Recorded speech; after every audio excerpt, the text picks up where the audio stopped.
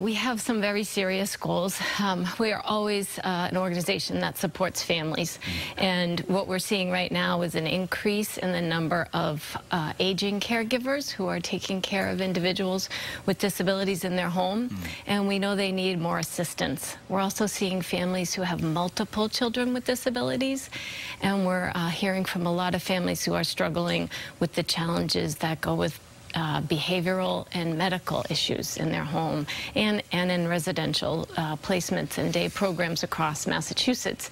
So we're working on those priorities, but we also are taking on the workforce shortage crisis this year. Mm. So the people who actually take care of of our folks.